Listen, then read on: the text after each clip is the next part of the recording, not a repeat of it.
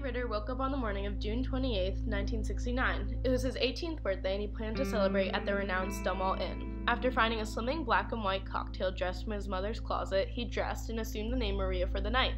Drawing from experience, Maria took the precaution of bringing along some male street clothes. Better safe than sorry. Maria arrived at Stonewall at 10 p.m., ready for a night of drinking and dancing, surrounded by gays, lesbians, transvestites, and others like her who didn't conform to society's expectations. It was her safe haven, a place of refuge. It was June 28, 1969, and although Maria didn't know it, this would become a pivotal night in LGBTQ history. That night, she would take part in riots that would reshape the way society treated and viewed homosexuals, changing their futures forever.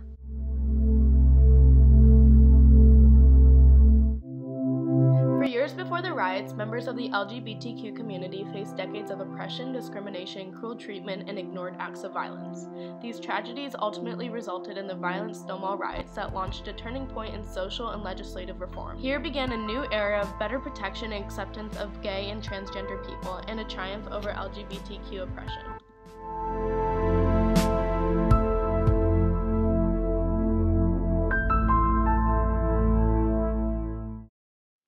Same sex relationships between men had been considered sinful for centuries, listed as sociopathic personality disturbance by the American Psychiatric Association in 1952.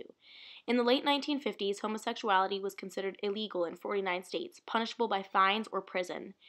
As of 1917, LGBT people were barred from immigrating to the United States. Doctors who sought to cure homosexuality subjected hundreds of gay men to malicious experiments, including castration, hypnosis, and conversion therapy. Homosexuality is, in fact, a mental illness which has reached epidemiological proportions. We can debate uh, uh, what is an illness uh, or whether it is an illness or not. I happen to subscribe to the belief that it is a tragic illness. What Jimmy didn't know was that Ralph was sick. A sickness that was not visible like smallpox, but no less dangerous and contagious. A sickness of the mind. You see, Ralph was a homosexual. Proving to be ineffective, these barbaric treatments caused tremendous suffering. The 50s were already a time of great change and civil unrest, with the civil rights, feminist, and anti Vietnam War movements. By the end of the decade, homosexuality would be added to the list of fought over rights. Additionally, the scare of McCarthyism led to the Lavender Scare, the widespread firing of homosexual employees, forcing people to hide their sexuality. Since homosexuals were viewed as sinful and perverted, many thought they shared characteristics with communists, labeling gays and lesbians as demonic and dangerous. There may be some here today that will be homosexual in the future. They can be anywhere.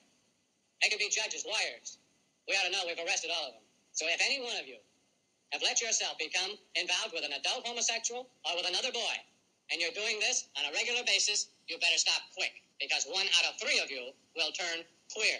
And if we catch you involved with a homosexual, your parents are going to know about it first, and you will be caught.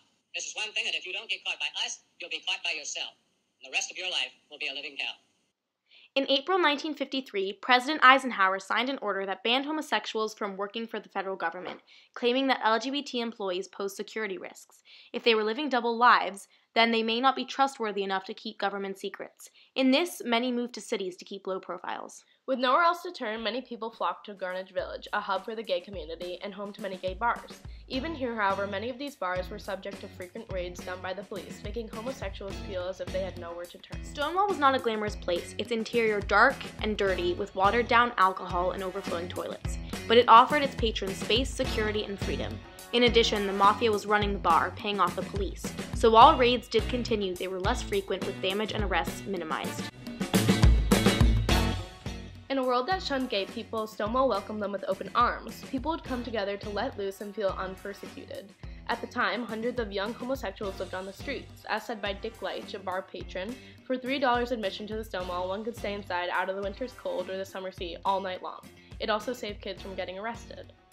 The night of the riot started like any other night at Stonewall, but this time Officer Seymour Pine, sick of watching his raids brushed off, sat outside with a plan of action that would ensure enough damage to leave them out of business for a few days. Around 1:20 in the morning, the raids began with four officers banging on the door of Stonewall, yelling, "Police, we're taking the place." As the violent police officers pushed their way through the bar's panicked crowd, nerves ran high, and while some knew the drill, others were fear-stricken. No one knew where the night would lead. Maria Ritters recalls, The cops had gone into the back room and started pushing people out. I went to the bathroom hoping there was a window. I had this strange recollection of wanting to get the hell out of there. Police began forcing people outside and checking IDs, which many didn't have. Bar patrons were being aggressively pushed into patrol wagons, while others were being arrested around them. As tensions grew higher, a new mentality swept through the crowd a mentality of defiance. Enough was enough. People began to talk back to the police, yelling, Get your hands off me, don't touch me. Here began the descent into violent chaos. Songs of strength and defiance ran through the angry crowd. Accustomed to an easy crowd complying with their dominant actions, these acts of rebellion came as a surprise to the unprepared officers. As the crowd became rowdier and curious bystanders joined the fight, it became clear that the police were outnumbered. With rioters soon in the hundreds, Officer Pine admitted that the crowd had grown ten times the size. It was really frightening. Interviewed later, Pine said, So many showed up immediately. This night was different. Instead of the homosexuals slinking off, they stayed there and their friends came. Energetic and angry, the crowd began throwing objects around them at the police. Anything from coins to bricks and even trash cans went sailing through the air. In a matter of minutes, the scene had turned from unrest to explosive and violent. With a battle cry, the crowd surged forward. The riots were messy, spontaneous, and chaotic, with projectiles often hitting other patrons instead of police officers.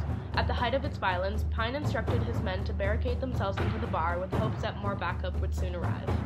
Now the riot turned to the physical bar, shattering the windows and setting fires in an attempt to bring down the barricade. The crowd was relentless, sick of their oppressors and standing united in their fight for gay liberation and a new age of freedom. Author of Stonewall David Carter writes The police assumed that since they were just dealing with a bunch of fairies, they would be unchallenged, found that it was as if they had suddenly and inexplicably metamorphed into raging tigers. The period of violence and destruction was still a time of hope and great change. Only after three days of rioting did the crowd disperse and the riot ended.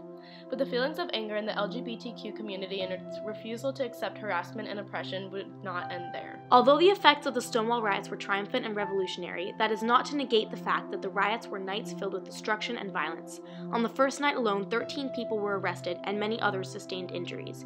But on hindsight, that concentrated period of violence was worth it in the long run.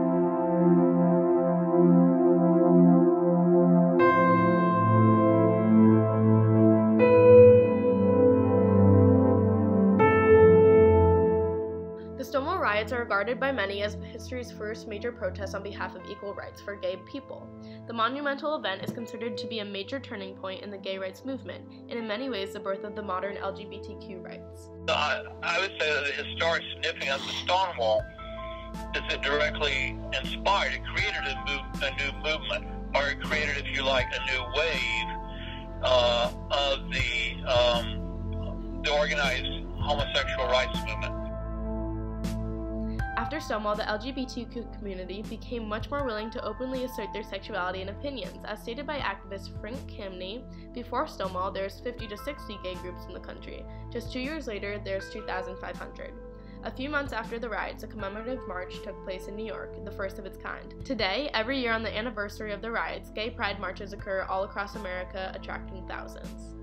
The riots also led to the founding of the Gay Liberation Front and Gay Activist Alliance. In 1999, the National Park Service placed the Stonewall Inn on the National Registry of Historic Places, and in 2016, President Obama designated the site of the riots as a national monument. Instituted in 1971, the Stonewall Book Award is now awarded to books that recognize the experience of the LGBTQ people. The riots were just a piece in the puzzle of the rights of the LGBTQ people in the US. It would be a long process, but thanks to the riots, a new mentality of acceptance was seeded in the minds of society. Today, there are still acts of violence committed against the gay community. In 2016, a shooter at a gay club in Orlando killed 49, and each day hate crimes continue. But slowly, progress has come for the homosexual community. Although there had been other resistances to occur in the past, Stonewall was unique. In the end, it lasted three days, attracted thousands, including the homeless street youth, plus it happened in New York, drawing in more publicity. Uniquely, the geography of the Greenwich Village had irregularly angled streets that created more gathering spaces and a disadvantage to police. Additionally, nearby subways and numerous phone lines made it easier for rioters to spread the word. The Stonewall riots were instrumental in a pivotal moment for the LGBTQ history, redirecting the downward spiral into a future of hope and security.